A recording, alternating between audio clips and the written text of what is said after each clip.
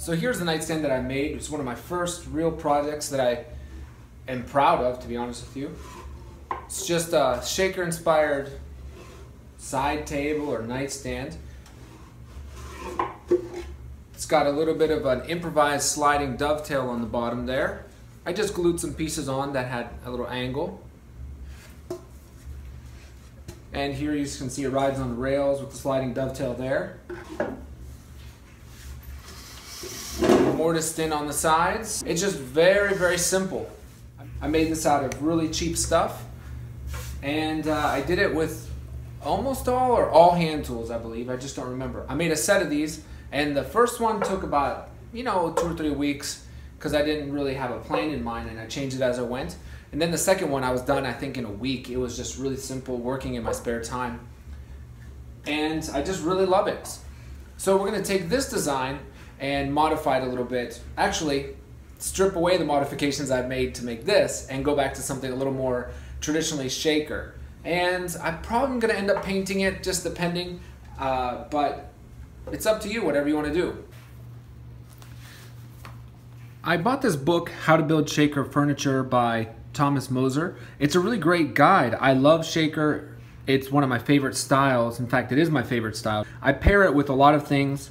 It's timeless and uh, kind of looks mid-century. You can adapt it really easily to make it look incredibly modern and new.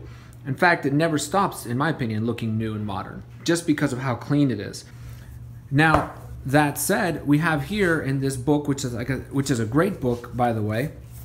This book has a bunch to offer. It's got detailed drawings. It's got everything you want to know about the woods that the shakers used. It has a little bit about some tools, from hand tools to power tools, and it's got a little bit of a um, background on who Thomas Moser and his furniture company is. Uh, the shaker table that I'm that I'm going to be building, more or less, is this. Now, I didn't have this book when I first made my table. I just looked online and asked my wife for some input, and we just made what we wanted. And I made a lot, like I said, I made a lot of mistakes in that. And now that I see this, this is actually a much easier design. Well, it's an easier design than I made because we're not going to try and integrate the sides. We're just going to mortise in the rails here and here. And then we just mortise in the panels and the sides and then the top will just get attached with some either some screws or some clips or whatever and the legs are just really nice tapered pieces. We've got the measurements here according to the book. It's the top here as you can see is 18 inches square. We dovetail the rail into the top of the legs so this right here gets dovetailed into the top. This is mortise and tenoned in. And then the sides are going to be mortised in. This is an inch and an eighth. I'm gonna actually make mine a little wider. I'm gonna make mine about an inch and a half and then taper them down. 5 eighths, again, is just a little narrow for me, so we're gonna taper it down to about 3 quarters. 27 and a half, well, a standard table height is about 30, so if you wanna go up to 30, that's fine too. Our current nightstands are at 30 inches. And there you go, that's sort of a look at how it's built. You get the dovetail into the top, you put in some rails inside the side panels or the skirts or whatever, and then you screw through them to get to the top. And then you just put these drawer runners on the side. It's just a really simple design. It's a whole bunch of straight lines. I don't think it really matters what your skill level is. This is a perfect beginner project.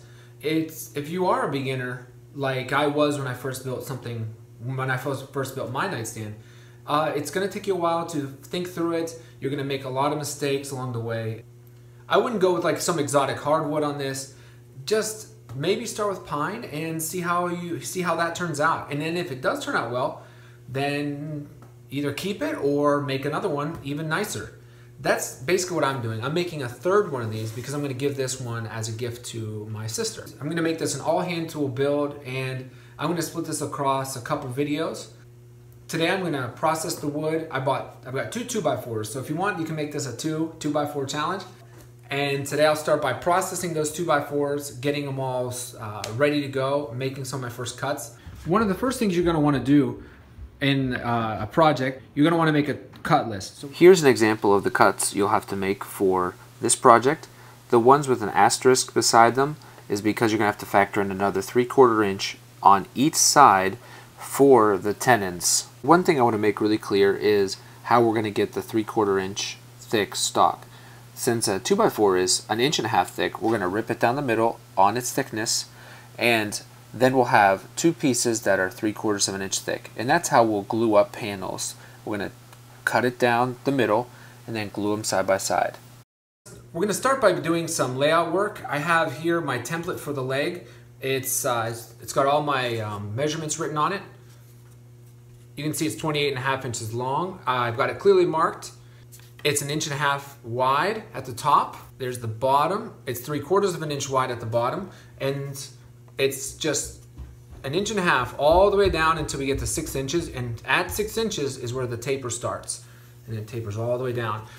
I would recommend you just go ahead and make a template for this now. You're gonna have to make four legs out of this and do it on four sides. So you're talking at least 16 times you would use this just on this one project. And it's like I said, this is my third one I'm making of these, and I know it comes in really handy to have this. By the way, I have plans for this, so just reach out to me if you want them.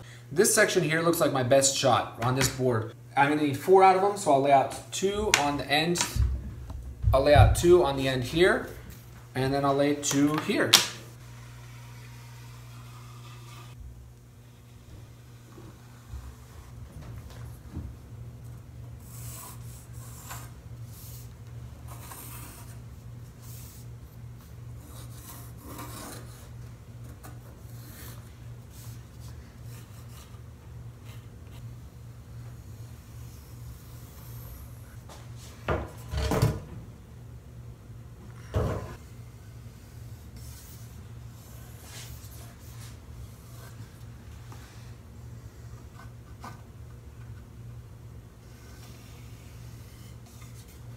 After the legs, the uh, the other thing that requires the most amount of wood is going to be the top. It needs to be 16 by 16, but I always like to cut it a little bit long and leave extra just in case.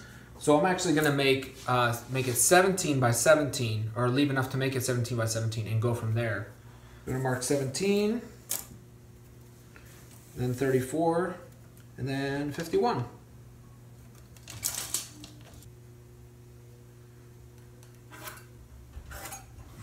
Next we're to lay out the piece that we're to need for the back of the nightstand. And I'm not particularly worried about the quality of this wood. It'll almost never be seen. But even so, you don't want to choose a, a piece of junk. And since this is three and a half inches, when I double it, it's to be seven if I leave it. But I'll probably cut off about a quarter inch on each side, half inch. Then when we double it, we're up to six again. All right, we need 12 inches off this one since it's the back. There we go. I only need that. That's all I need for it.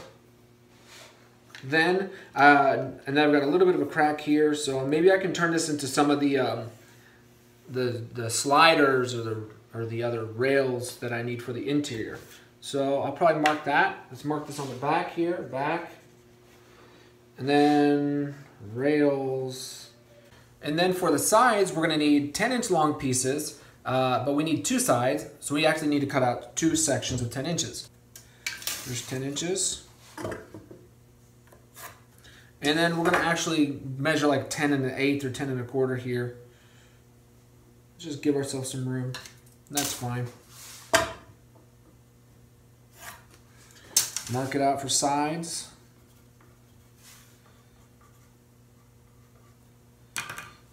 And then we're gonna cut on this side of the line.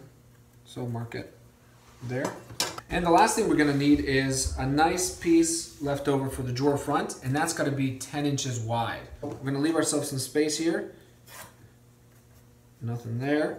I'm gonna mark out, uh, I'm gonna mark out a nice little section here. I'm gonna mark 11 inches, just to make sure I give myself every chance of getting it right. Check the back even, looks fine. There we go and this is the drawer front. All right, so we're gonna take stock, no pun intended, we're gonna take stock of everything we've done and make sure we got it. We've got one, two, three, four legs. I've got a little divider here to make sure we don't cut at top or bottom of any. We got the drawer fronts, which we're gonna double to get our four inches. We got two sets of sides, each of which we're gonna cut and cut down the middle, rip down the middle, and uh, and book match them or glue them up. Then we've got a top, which is one, two, three sections of 17 inches, which will give us more than enough for the top. Then we've got a back, which is uh, 12 inches long. We've got some extra stuff, and then we're good to go.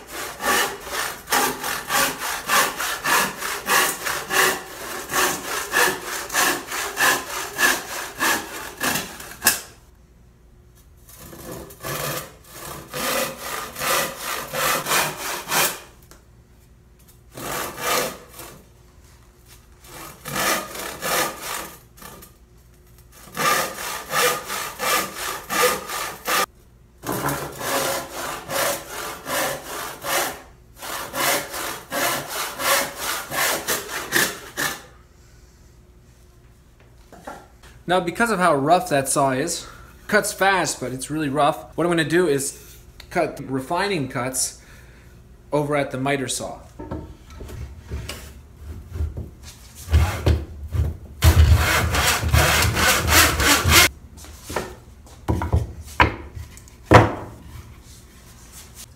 All right, we've got everything cut out in rough form. Now we're gonna take the time to cut out the blanks for our legs what I'm going to do is we've got, we've got the dividing line in the middle here. I'm going to draw one on the back side just because I like the extra help as I saw, just to make sure I don't go, go off track.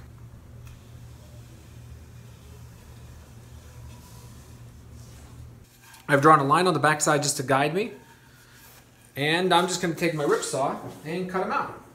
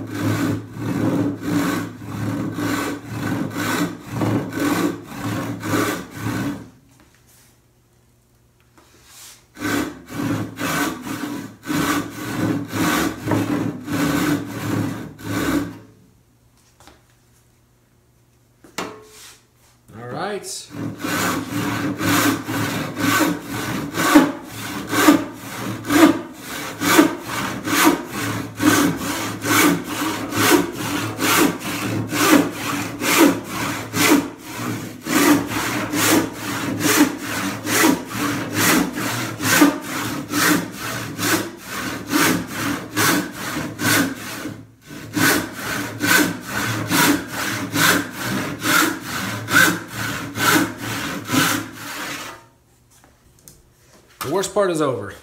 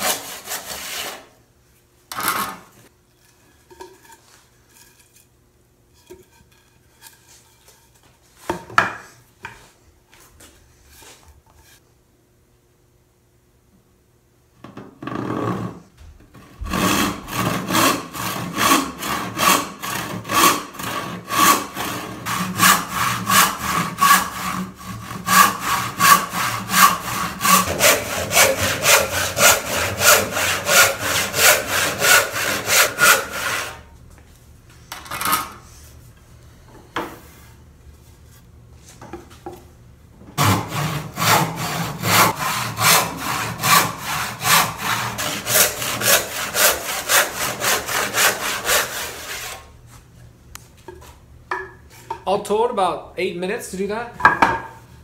And here we've got some leg blanks ready to go.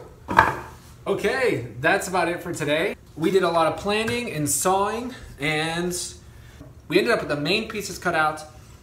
And the biggest thing so far are the legs. We traced them out using a pattern or a template. And we just ripped them down the middle. Got four legs. Then we have to plan out three pieces for the top. Cut them down, we're gonna rip them down the middle and glue them up to make one large 17 by 17 panel, which will eventually then cut down to 16 by 16. We've got one piece for the back, same thing, we're gonna cut it, glue it. Basically all of our pieces we're gonna do that too. I guess now that I'm thinking about it, using a 2x4 for this is probably not a great idea. I would say if you're gonna do this, get a two by four to get your legs out of, then get some, get like two one by fours, like eight, eight feet long, whatever. That'll save you a lot of time having to rip these down the middle and uh, then glue them back up. You're gonna have to glue them up anyways, but yeah, that's my best suggestion. Save you a ton of time that way. So anyways, uh, see you around for the next video where I'm gonna be shaping the legs. We'll get those and then from then we'll cut all the pieces and glue them up and then we'll do a work, then we'll start on the assembly. All right? Thanks so much. Hope it's been enjoyable and useful and we'll see you, uh, see you next time.